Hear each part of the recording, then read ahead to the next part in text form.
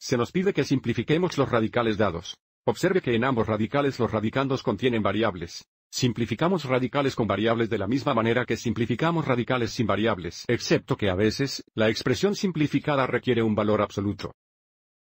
En general, cuando se simplifica una expresión radical, si el índice es par y una variable fuera del radical tiene un exponente impar, se necesita un valor absoluto. Mirando el primer ejemplo tenemos la cuarta raíz de 81x a la octava, y a la cuarta.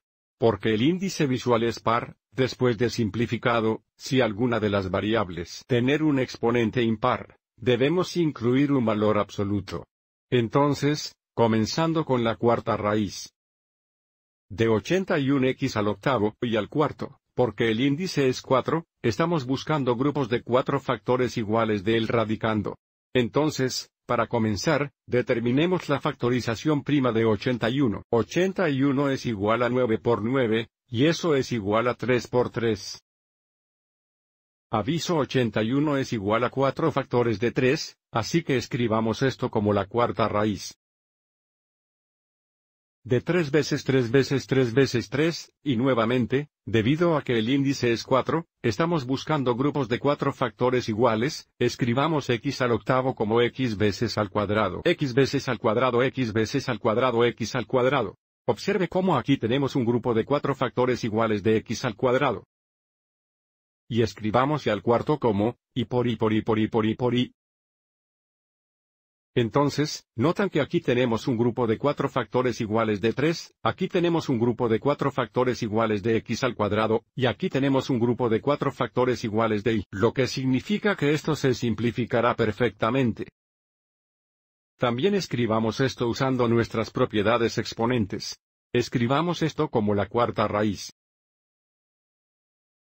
De 3 a la cuarta veces x al cuadrado a la cuarta veces y hasta el cuarto.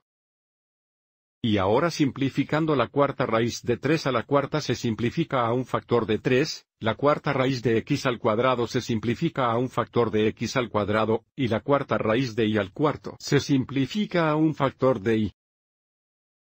Pero recuerde que debido a que el índice es par, cualquier variable fuera del radical que contenga un exponente impar debe contener un valor absoluto. Entonces, porque tenemos y al primero aquí, nuestra expresión simplificada es 3x al cuadrado por el valor absoluto de y. Esto asegura que el principio de la cuarta raíz siempre será positivo. No necesitamos incluir la x al cuadrado dentro el valor absoluto porque si x es negativo, cuando lo elevamos al cuadrado, el resultado será positivo. A continuación tenemos la quinta raíz. De 64x a la décima y a la sexta.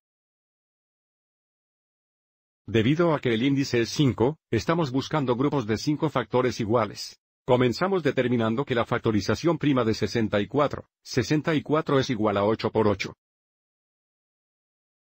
8 es igual a 4 por 2, y 4 es igual a 2 por 2. Aviso 64 es igual a 6 factores de 2.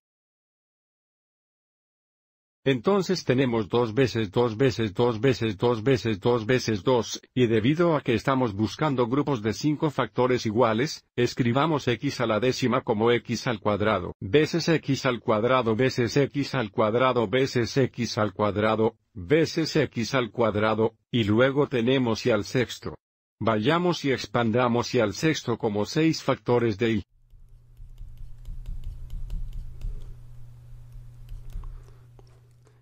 Y ahora rodeemos los grupos de cinco factores iguales. Aquí tenemos cinco factores de 2, aquí tenemos cinco factores de x al cuadrado, y aquí tenemos cinco factores de y. Los factores circulados se simplificarán perfectamente. Los factores no marcados permanecerán bajo el radical.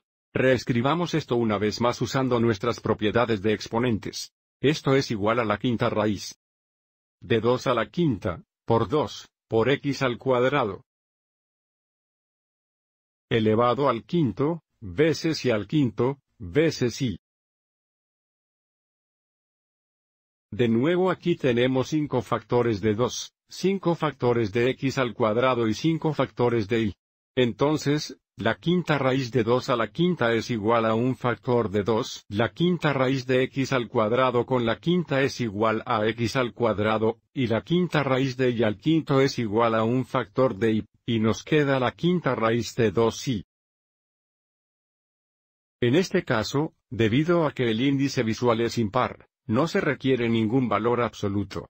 Espero que hayas encontrado esto útil.